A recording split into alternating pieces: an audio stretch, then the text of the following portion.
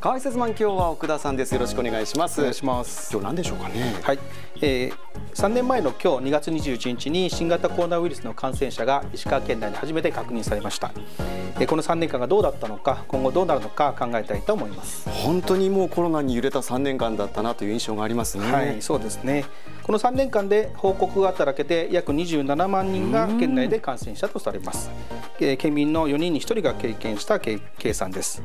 この3年前からのグラフを見てみますと、はい、えー、この左の方が第1波ちょこっと見えますね、はい、で、えー、第5波までは、えー、1日に100人を超えるぐらいの感染者だったのが、えー、オミオミクロン株に切り替わったこの第6波以降は、えー、急増しました。感染力の強さが伺えますよね。はい。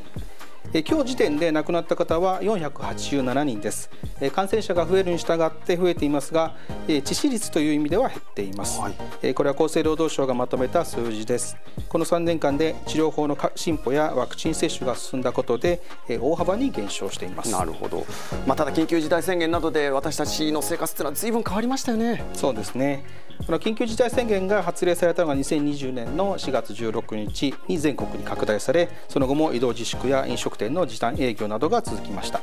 え帝国データバンクの調査では新型コロナ関連の倒産は全国で5000件以上、うん、石川県内でも57件に上っています。生活様式も変わりましたね、はい、マスク消毒は日常の貢献になりましたしキャッシュレス決済や食事のテイクアウトも増えました。仕事ではテレワークが当たり前になりました。確かに。えー、これは内閣府が昨年6月に調査したアンケートです。でこの3年間最も影響を受けたのは子どもたちかもしれません。そうですね。友人との交流が制限されたりイベントや行事が中止になったことに不満を感じている学生が多いことが分かります。本当ですよね、まあ、一方でこのコロナ禍で、えー、こあのいろいろと今後の生活に定着しそうになったことっていうのもありますよね。はい。あの同じアンケートからですが首都圏在住の20代に聞いた地方移住への関心はコロナ禍前に比べて大きく伸びています。次は、えー、収束後も継続したい行動について聞いています。オンラインショッピングやオンライン会議を続けたいという人が多いです。なるほど。さてじゃあ今後という話になるんですけども春からは感染法上の扱いがまあ5類ということにコロナ変わりますよね。これどうなるでしょうかね、はい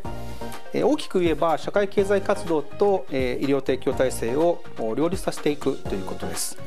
これまで感染者で7日間、えー、濃厚接触者で5日間の療養期間はなくなる見通しです。そのため取材した金沢市内の総合病院の院長は職員不足の最たる原因だった濃厚接触者の自宅待機がなくなると助かると歓迎しています。その一方で現在流行するオミクロン株は感染力が強いので高齢者や基礎疾患のある人入院患者にうつしてしまうリスクは高まると懸念もしています。はいまあ、身近なところでは3月13日からマスクの着用が、ね、個人の判断に委ねられることになります。え北陸中日新聞が LINE の友達にアンケートしたところ半数以上は状況に応じて対応すると回答しています、はい、え皆さんどんな場面がリスクがあるのか経験値がすでにありますので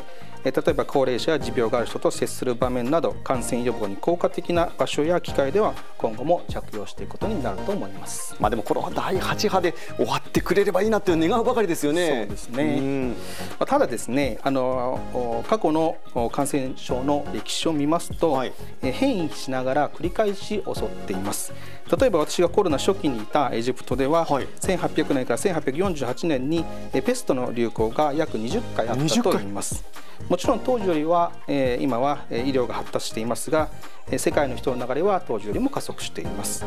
今後も収束と変異を繰り返すと想定をして日常生活や医療現場で持続可能な対策を取った方がいいかもしれません。今日の解説マン奥田さんでした